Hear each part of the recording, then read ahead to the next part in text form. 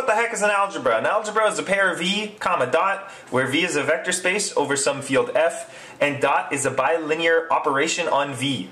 Dot takes two guys from v, spits out a guy from v. Recall that bilinear means a binary operation such that for x, y, z in our vector space and lambda in our field, we have right distributivity, left distributivity, and scalar commutivity. Thanks for watching.